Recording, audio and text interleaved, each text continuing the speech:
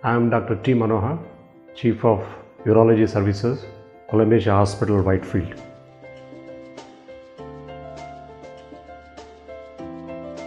Ureteral stent is a generally a tube which comes from the kidney to the bladder bypassing the stone or an obstruction.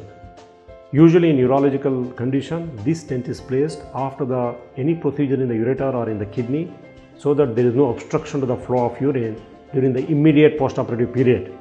So these are generally placed in 90% of the situations in any conditions operated upon the kidney or the ureter and the lower ureter and the bladder so that the drainage of the kidney for urine has to happen freely to the bladder till the healing of the ureter occurs.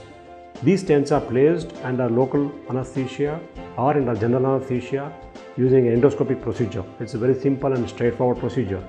And also the removal of the stent can be done under local anesthesia using a flexible ureteroscope and it takes about 2 to 3 minutes to take out the stent and the patient may have little of urgency and pain soon after the stent removal but it is very simple and straightforward.